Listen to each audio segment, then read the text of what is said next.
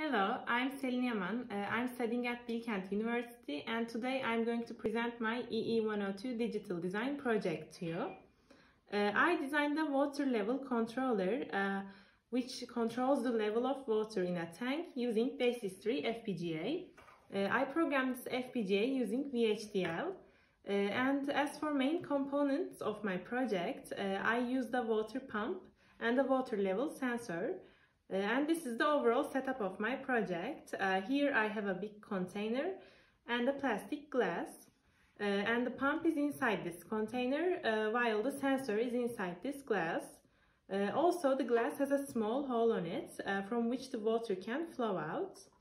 and when this setup is run, the sensor sends an input signal to Basys 3 and Basys 3 will send an output signal to the pump uh, so the pump will work uh, when, this, uh, when the water level in the glass is low.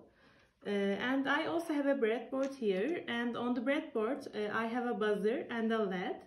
Uh, the buzzer will work when the pump is working and the LED will light up when the pump is not working.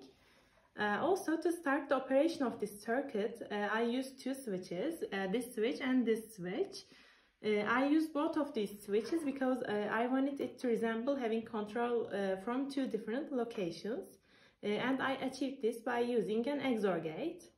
Uh, now let me show you how this process works. As you can see, as the uh, glass was empty, the pump started working and the glass started to fill.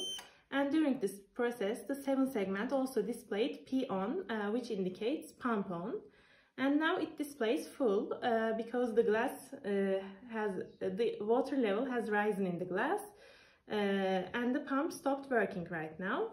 And to indicate these different states of the operation I also use LEDs on Basys 3 uh, and uh, while the uh, pump is working we can also hear the buzzer sound.